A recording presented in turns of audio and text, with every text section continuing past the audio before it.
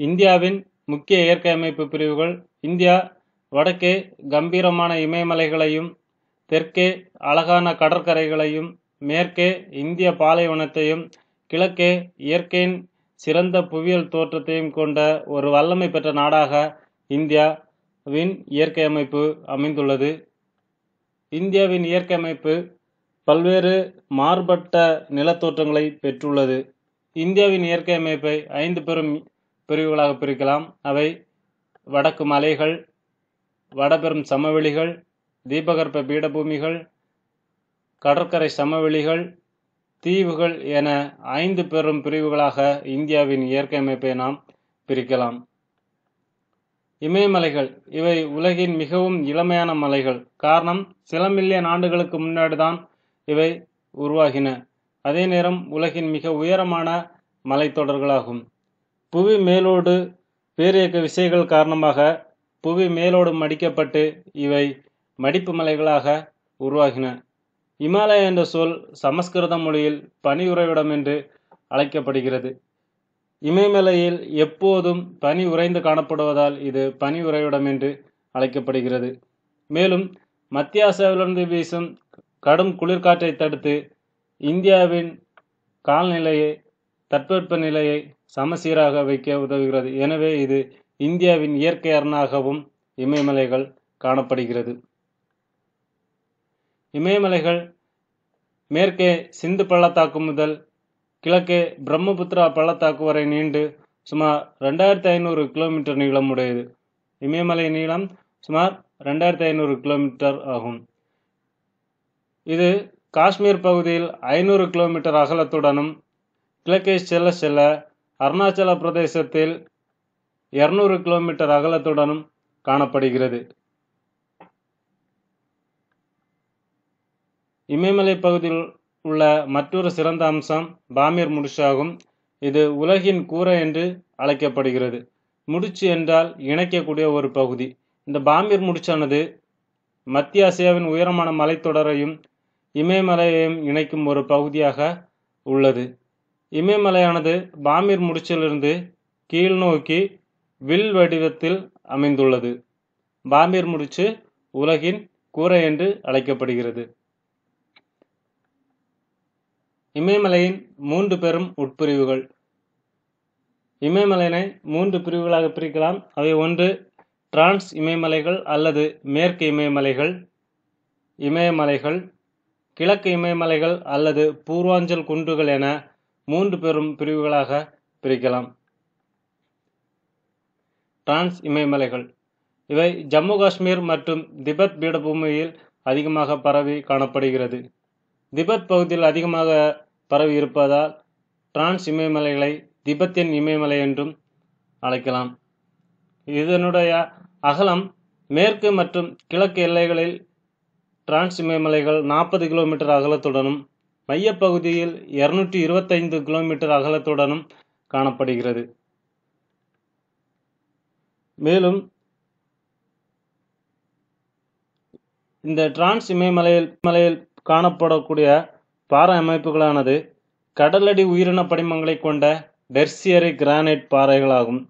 இதன் ஒரு பகுதி உருமாறிய பாறை படிமங்களாக இமயமலை தொடரின் மைய அச்சாகவும் அமைந்துள்ளது.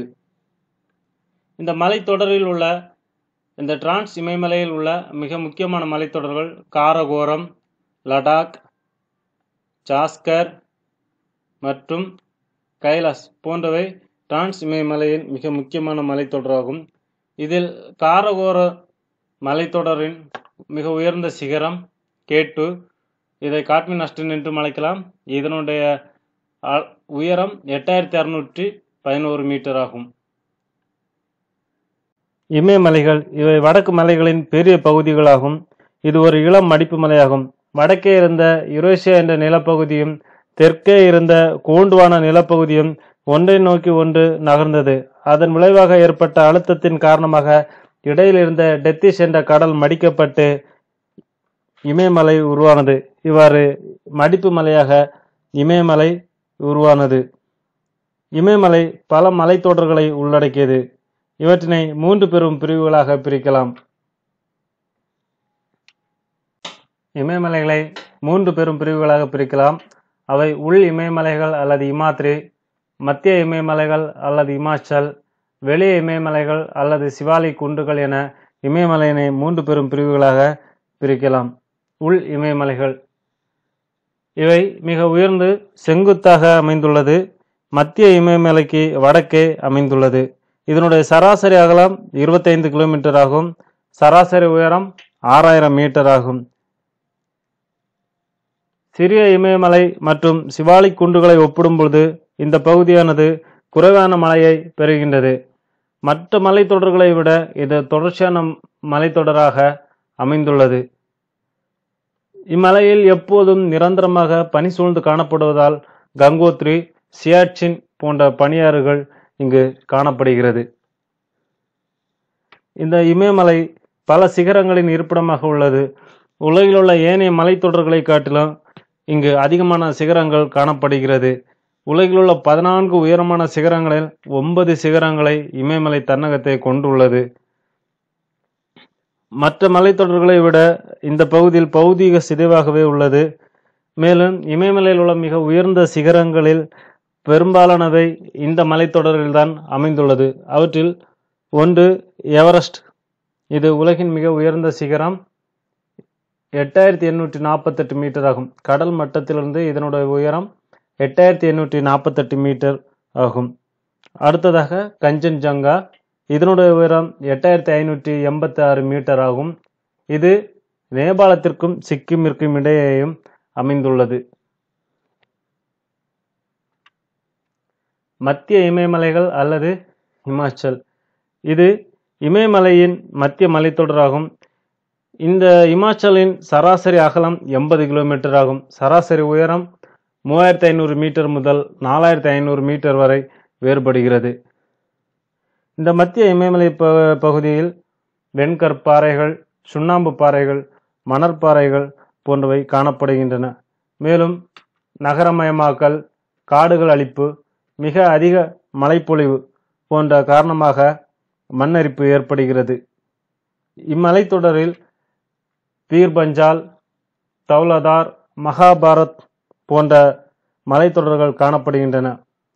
புகழ்பெற்ற கோடை வாழிடங்களான சிம்லா முசௌரி நைனிடால் அல்மோரா ராணிகட் டார்ஜிலிங் போன்ற கோடை வாழ்விடங்களும் இந்த இமாச்சல் மலைத்தொடரில்தான் காணப்படுகின்றன.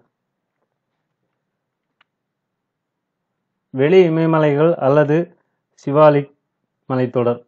இது ஜம்மு காஷ்மீர் முதல் அசாம் வரை பரவியுள்ளது. இதனுடைய ப ஒரு பகுதி ஆறுகளால் உருவாக்கப்பட்ட படிவுகளால் ஆனது இதனுடைய உயரம் தொள்ளாயிரம் மீட்டர் முதல் ஆயிரத்தி நூறு மீட்டர் உயரம் வரை வேறுபடுகிறது. சராசரி உயரம் ஆயிரம் மீட்டர் ஆகும்.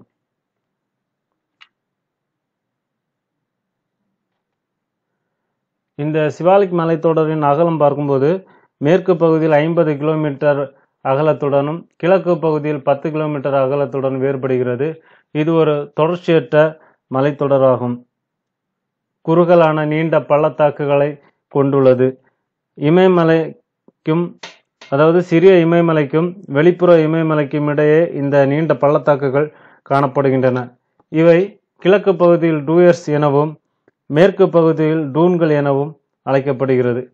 இந்த பகுதிகள் குடியிருப்புக்கு வளர்ச்சிக்கு மிகவும் ஏற்றதாக அமைந்துள்ளது. சிவாலிக் மலைத்தொடர்கள் குடியிருப்பு பகுதிகளுக்கு ஏற்றதாக அமைந்துள்ளது. பூர்வாஞ்சல் குன்றுகள் இவை இமயமலைகளின் கிழக்கு கிளையாகும் வடகிழக்கு மாநிலங்களில் இந்த பூர்வாஞ்சல் குன்றுகள் பரவி காணப்படுகிறது. பெரும்பாலான இந்த குன்றுகள் மியான்மர் மற்றும் இந்திய எல்லைகளுக்கு காணப்படுகிறது. மற்றவை இந்தியாவின் உட்பகுதிகளிலேயே பரவி காணப்படுகிறது. மிக முக்கியமான பூர்வாஞ்சல் குன்றுகள் பார்த்திங்கன்னா காரோ டாப்லா மிஸ்மி நாகா காசி மற்றும் ஜெயந்தியா மிசோ குன்றுகள் மிக்கிர் இவை அனைத்தும் ஒன்றிணைந்துதான் பூர்வாஞ்சல் மலைகள் என்று அழைக்கப்படுகின்றன. இமயமலையின் முக்கியத்துவம். இமயமலையானது தென்மேற்கு பருவக்காற்றை தடுத்து வட இந்திய பகுதிக்கு கனமழையை கொடுக்கிறது. இந்திய துணைக்கண்டத்திற்கு இயற்கை அரணாக அமைந்துள்ளது. வற்றாத நதிகளின் பிறப்பிடமாக உள்ளது. உதாரணமாக சிந்து கங்கை பிரம்மபுத்திரா போன்ற நதிகளின் பிறப்பிடமாக இமயமலை அமைந்துள்ளது. இயற்கை அழகின் காரணமாக வடக்கு மலைகள் சுற்றுலா பயணிகளின் சொர்க்கமாக திகழ்கிறது. பல கோடை வாழிடங்களும் புனித தலங்களான அமர்நாத் கேதார்நாத் பத்ரிநாத் மற்றும் வைஷ்ணவி தேவி கோயில்கள் போன்றவை இந்த இமயமலை பகுதியில் காணப்படுகிறது. மேலும் வனப்பொருட்கள் சார்ந்த தொழிலகங்களுக்கு மூலப்பொருட்களை அளிக்கிறது. மத்திய ஆசியாவிலிருந்து வீசும் கடும் குளிர்காற்றை தடுத்து இந்தியாவை குளிரிலிருந்து பாதுகாக்கிறது. இமயமலையானது பல்லுயிர் மண்டலத்திற்கு பெயர் பெற்று விளங்குகிறது.